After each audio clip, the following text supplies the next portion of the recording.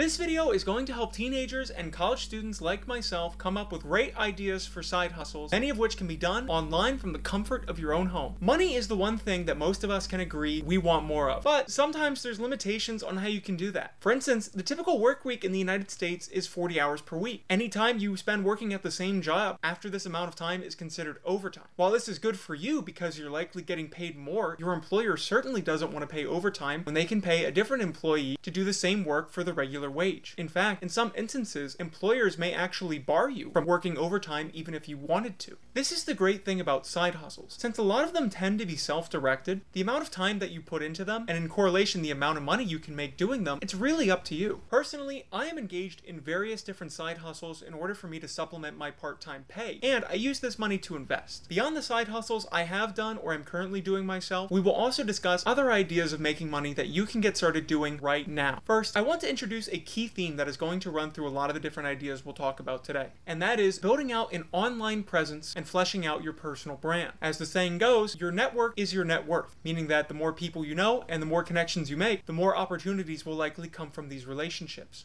And these relationships will be the key to your side hustles, whether that's finding individuals that you can work with gig after gig, or by finding an audience that you can sell your product or services to online. And that's where your online presence and personal branding will come in. If you want to be a freelance writer, for instance, it will be easier for you to sell your services to an audience that knows number one, you're a writer, and number two, you're a good one. You can establish this identity online by consistently posting content that reflects this idea. You want the information that can be found about you to have a consistent theme and message about what it is you're trying to get across to your target audience. That will be your personal brand, and it essentially encapsulates your talents, demonstrates who you are, and showcases the value that you can provide with your unique attributes. Building up an online presence by creating a consistent personal brand which highlights the talents you'd like to utilize in your side hustles will help you discover and connect with an audience that is interested in or needs your talents. This will help you find customers and make sales. Also, building up a good personal brand is just good advice. It is becoming ever increasingly important in the professional world, and it can really help you differentiate yourself from your competition. A fast track to getting started will be to create a LinkedIn account, to design a logo for your personal brand, and to make a website which showcases your talents or your artistic portfolio. The topic of personal branding will get its own video in the future, so make sure to like the video if you're enjoying it, and subscribe and ring the bell to be notified when new videos are released every Friday. They'll help you live a life you love through personal finance and self-improvement. Now, my main side hustle is reselling on eBay. You can also resell on various other platforms like like Amazon or Depop.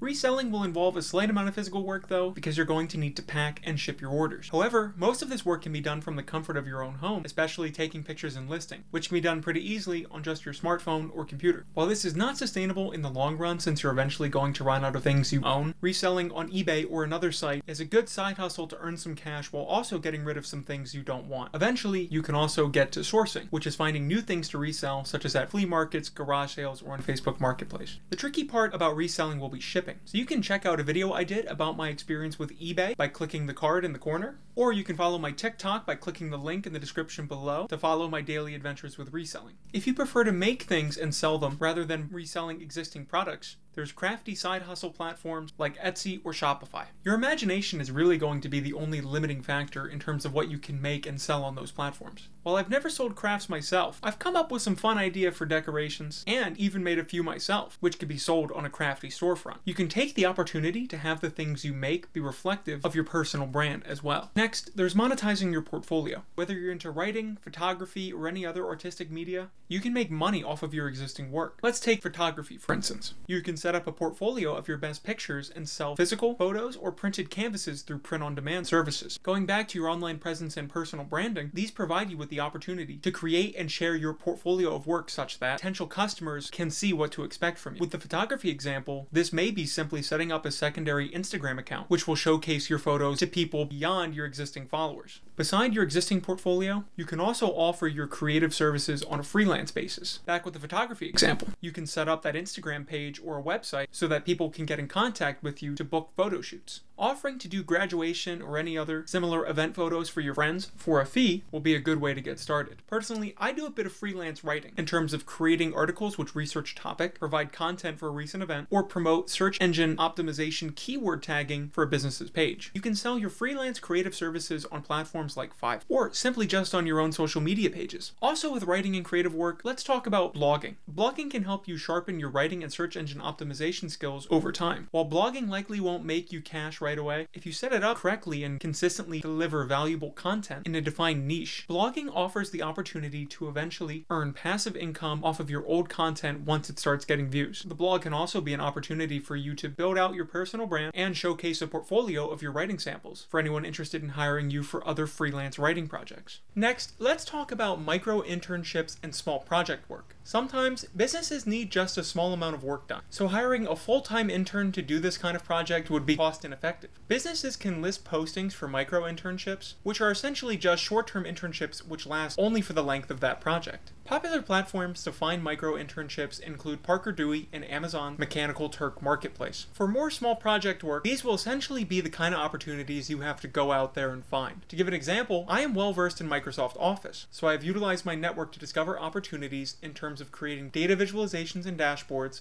as well as creating and formatting technical documents in Word for various small businesses and other consulting firms. A good place to start will be to reach out to your local small businesses and see if they may need any help with short term projects. Some business business owners may also not be very tech savvy, so this will provide you the opportunity to do that technical work for the business owner as a side hustle. Furthermore, if you're interested in social media or marketing, many local small businesses have very little or no presence on social media. You can offer to sell your services as a social media manager, creating and posting content for the business. This will get you great professional experience, and it will help you in building your personal brand as you start to understand the importance of creating consistent messaging and content for the business that you're working with. Currently, you can actually do all of this work from home with just a Zoom account and an internet connection. Next, although these can't be done online, it wouldn't be a side hustle video if I didn't mention your typical gig economy jobs like driving for Uber or Lyft or delivering groceries for Uber Eats or Postmates, as well as driving or dropping things off for the various other rideshare and delivery platforms. These may not be viable options though depending on your age because you'll need a car and a license. Although, food delivery can technically be done by bicycle. For those in school, another simple option might just be tutoring.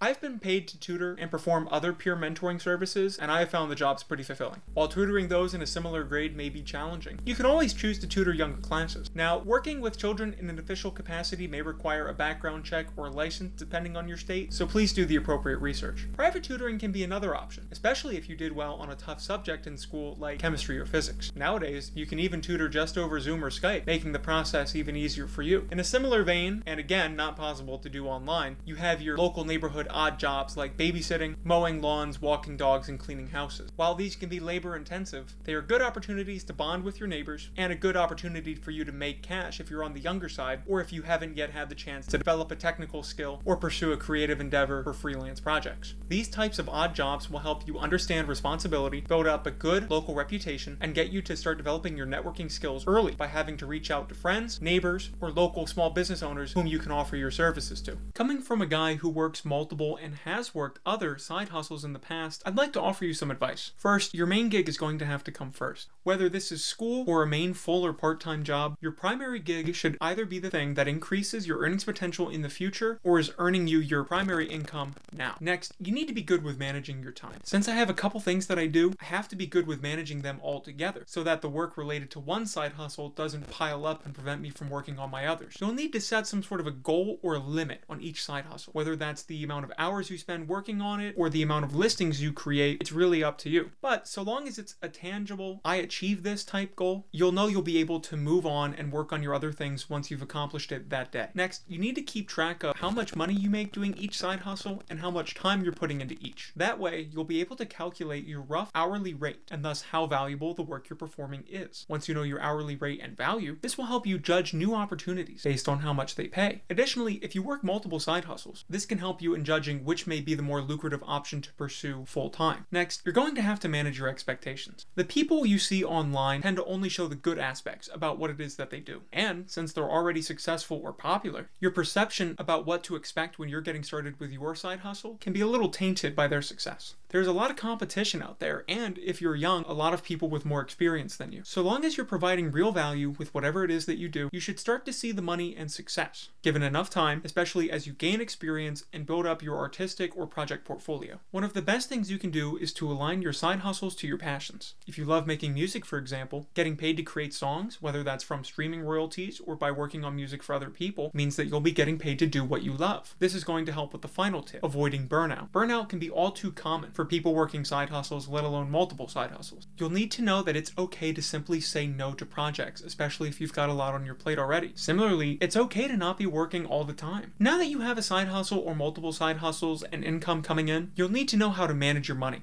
Click the video on the card to watch a video about personal finance advice that everybody needs to know. Like the video if you enjoyed one of the ideas, comment below with what side hustle you'll be starting up soon, subscribe and ring the bell to be notified when new videos come out every Friday. Social media links, including my eBay side hustle TikTok, will be in the description below. Click the video on screen to watch another that you're going to enjoy, and please add some music, a side hustle, or whatever else it is that you love to your day. Add some, add some music, just add some music to the idea.